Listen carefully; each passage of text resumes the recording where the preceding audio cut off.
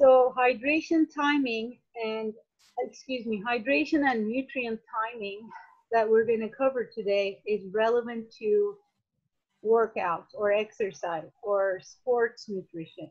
So I'm not talking about in general or healthy eating tips. That's another topic. Uh, so today we're just going to look at it with the perspective that now you are an active individual, you work out regularly and vigorously. So what sh should you be taking care of in terms of your hydration and nutrients or diet? Okay, so I'm gonna share the screen. Um, share my screen. This is page four from the lecture notes, okay, or lecture three. Uh, hydration and nutrient timing, and it's pages 52 to 53. I tried to, cat is a naughty cat. Um, so I tried to summarize this, and I would like you to get an idea when we're done with this lecture about what you should be doing. Why hydration is so important. First, it, it is considered to be, in the literature, it is considered to be the most important nutrient. Even though it doesn't have nutrients in it, it is just water, uh, we still look at it as the most important nutrient because water is used in every single cell activity. If there is not enough water in your system cellularly, then your cellular functions won't uh, be proper. Okay, so 50 to 60% of body mass is water. Okay, we should understand that when you go on the scale and weigh yourself, that's the majority of, of it comes from water. So if you have some water retention for one reason or another, okay, bloated or your weight ends up being higher than what it is normally. Um, so it performs many functions, like I said. Uh, it delivers the nutrients and whatever you, your body needs to the cells and then takes away the waste products and gets rid of them through your sweat and your um, uh, urination. So it also regulates your body temperature, which is a very important, vital thing for your body. If your body temperature temperature is out of normal range, you will die. Okay, that's a given fact. If it is too cold, if it is too hot, it has to be maintained at a certain uh, level. And water uh, acts like a cool, coolant, especially when your temperature goes up. Since this is all really relevant to exercising or working out, our body temperature will, will rise. So you're going to use water to cool off that extra body temperature. So failure to drink water will uh, result in poor exercise performance and possibility of dehydration. Okay, dehydration is not just a word that we just take it for granted. It is a serious condition and the uh, consequences of dehydration may last more than a couple of days, sometimes a couple of weeks. So we don't want to get to the point of being dehydrated. That's why we want to replenish that lost water through our sweat during exercise constantly. Even during the day, even when you don't exercise, especially during these hot uh, temperature days, we have to keep sipping on our water because there's a reason for it. I'll get to it in the end. So when it comes to workouts, we have to be hydrated enough before we begin exercising. So prior to exercise, we have to make sure with that four hour uh, window, we have to be ingesting two, two glasses of water, okay, prior to exercise. What happens during exercise? It depends on what you do, okay? Yes, we have to keep replenishing the water being lost through the workout, but if it is, especially if it's an endurance exercise, let's say you're running for more than an hour, okay, or you're uh, walking for more than an hour or cycling, it's an endurance that means endurance exercise means it is last prolonged exercise. It is going to last long and uh, fairly a moderate intensity, not as vigorous. Uh, but you are going to lose a lot of water during that endurance exercise, as well as your electrolytes, okay? Uh, and also some uh, carbohydrate storages. And when your carbohydrate levels go um, lower than um, a, a, certain amount, your performance will drop. That's why we have to replenish carbohydrates as well. But this is only for endurance exercises that last more than an hour. Okay, so when we look at a typical uh, drink, okay, exercise drink or workout drink, they should have 8% or less carbohydrates in them, okay? Just water mixed up with some sort of sugar, okay? Carbohydrate is basically sugar. And we tend to choose the basic or simple carbohydrates so that it gets ingested right away and can be used right away in our blood. So a typical workout drink like a Gatorade or Powerade they should have less than 8% of carbohydrates in them, okay? So when you go out and buy a Gatorade, you should be just drinking it, not during the day, like it's a beverage, um, during your endurance exercise that lasts more than an hour. If you're lifting weights vigorously and it, that bout of exercise lasts more than an hour, then you might consider drinking Gatorade. After exercise, yeah, these are the guidelines. Of course, this is really hard to gauge how much weight you lost through your workout, but this is the general guideline. If you lost through sweating, okay, that's not a real fat loss or weight loss, but it's just the water loss. If you lost one kilogram, which is about two pounds, 2.2 pounds, uh, body lo weight loss, you should be drinking 1.5 liters. It's like a point and a half times the weight loss. So you can just convert that into a pound. But let's get to this. Um, so just keep drinking water. That's the main idea. But why do we keep sipping on water constantly? This is a fact, scientific fact you know, our body is like a miraculous machine, and there's a feedback mechanism that keeps us alive. Okay, when something goes low, your body has this uh, protection mechanism or signaling system to your brain or central nervous system saying, you know, oh, okay, this hormone is too low, or this nutrient is too low. You got to do something, and then we do end up doing something about it. When it comes to hydration, though, that is has been found to be the least efficient feedback mechanism in our body. So you, your brain, you will be deceiving your brain by sipping, even touching your lips to the water. And your brain will think that you're all taken care of in terms of hydration. You won't feel thirsty. If you already feel thirsty, by the way, it is a border of being dehydrated. So you should not wait until you feel thirsty. You should be, you know, sipping off of your water bottle constantly. But even one or two sips will fool your brain thinking that you just got the hydration you need. But that's not the case. So that's the least efficient. Uh, it's a, a negative feedback mechanism. That's what we call. Um, to push you or stimulate you or warn you to drink more water, but that doesn't work that efficiently in our system. That's why you have to make a conscious effort to constantly drink your water. Any questions about hydration? Don't forget that.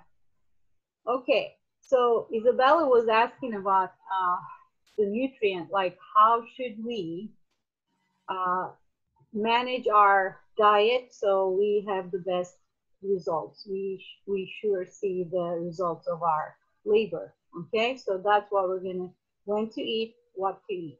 Again, when it comes to working out, not general.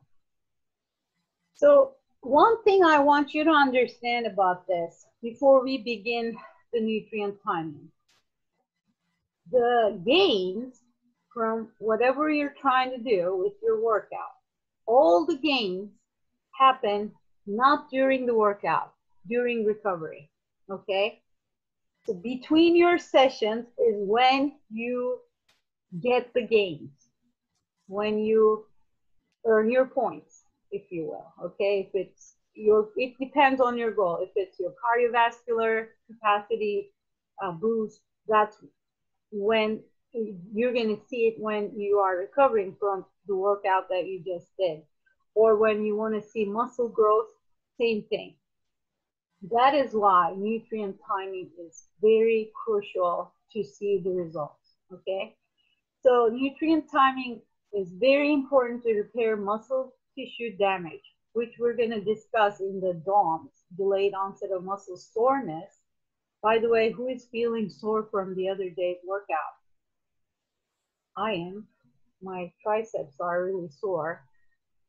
Uh, so during the recovery, we repair the muscle tissue damage that we just created with our workout. We restore our physiological functions. We replenish the glycogen that we just used up from the workout or during the workout, which is sugar or the uh, storage, uh, uh, you know, uh, storage, stored sugar, if you will, glycogen, and promote muscle growth. So what should we do to maximize this benefit? Before the exercise, before we even begin, that's called a pre-workout. You know, there are powders that they sell and drinks that they sell, but mainly, this is what we should be uh, focusing on.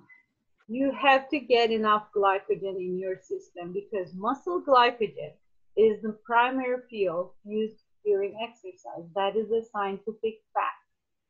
Your body will uh, spare the fat or will not prefer fat because fat is a slow energy resource. Even though it's abundant, it gets into uh, used energy in a very slow manner. That's why your muscle or your body will prefer using muscle glycogen when you're working out. That's why your glycogen stores need to be uh, replenished before you begin your workout so that you can get the most benefit out of it. Both aerobic and anaerobic exercise decrease glycogen stores. So prior to aerobic exercise, which is your running, your cycling, swimming, protein intake combined with carbohydrate ingestion, okay, CHO is carbohydrate, it's going to stimulate the protein synthesis.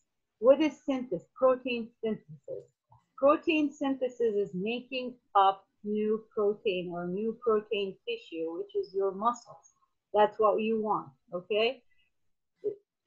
Even, you know, whether it be um, repairing the muscle tissue or making up new muscle tissue, you need protein synthesis. So what they found with through research is that you have some protein intake combined with carbohydrate, that's the best way. Uh, if it, when it comes to resistance exercise like our workouts, same thing. And they found out that it increases body capacity to do more sets, reps, and prolong a workout which is beneficial. So what is the recommended combination of this uh, or the uh, golden ratio, okay, of this protein to carbohydrate? So four units, whatever the units are, four units of carbohydrate to one unit of protein, okay? And those pre-workout drinks that you buy from the market, that's how they formulate their formulas, okay, four to one ratio. And you have to be ingesting this 30 minutes prior to exercise to make sure your stores are taken care of. Any questions? I heard something. Okay. Okay, so this is before. During exercise, like we talked about, if it's an endurance exercise, you want you should be replenishing your carbohydrates with a, a drink that also has electrolytes in them. But when it comes to nutrient, we don't really focus on during exercise because we're not really eating during exercise, except for a marathon, maybe you're eating a banana um, that you are served through the volunteers on the sidewalks, and it's it's awesome. I did that once, and yeah, even that feels weird when you you know exercising. You're trying to put something in your body. That's why we have the the drinks that have the carbohydrates.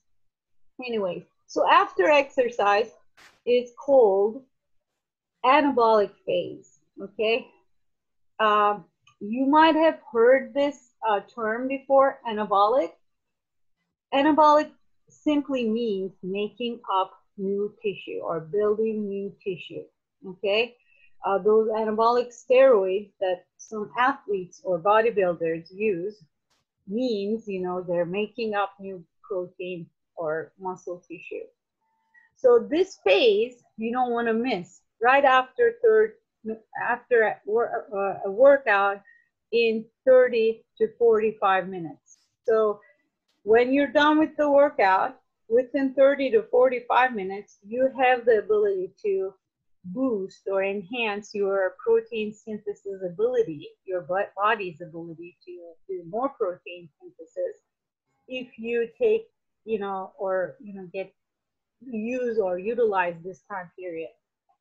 Um, because th during this time, muscle cells are particularly sensitive to nutrient stimulation and hormones are working to repair the muscle that you just damaged and uh, the, the, inflammation that you just created and also this time it promotes muscle growth. So your body is waiting to be fed. That's in other words layman's terms okay i just did the damage and i'm ready to be fed so that i can do the work for you in during recovery. So recovery drinks, okay, that's what they call our post-workout drinks. They have to have some carbohydrates in them because again, you use carbohydrates and if you don't have carbohydrates, you're not going to start that protein synthesis cycle efficiently. So the recommendation, again, don't focus on the numbers too much but 50 grams carbohydrates and 10 to 15 grams protein with fluid, again, hydration. Soon after, soon after means, you know, within 30 minutes. Um, so it just happens. It's a very interesting thing, but they found, again, this is a research or scientific uh, finding, that they found that low fat chocolate milk you don't have to be rich or you don't have to go out and buy the post workout drinks. You can just drink a, a box of a low fat chocolate milk, which has the golden ratio in it. Okay, they found that it's got that carbohydrate and protein that is recommended and uh, also some fat, uh, which is a good thing to, you know, um, to fuel the chemical processes. Okay, so that's one choice. Any questions?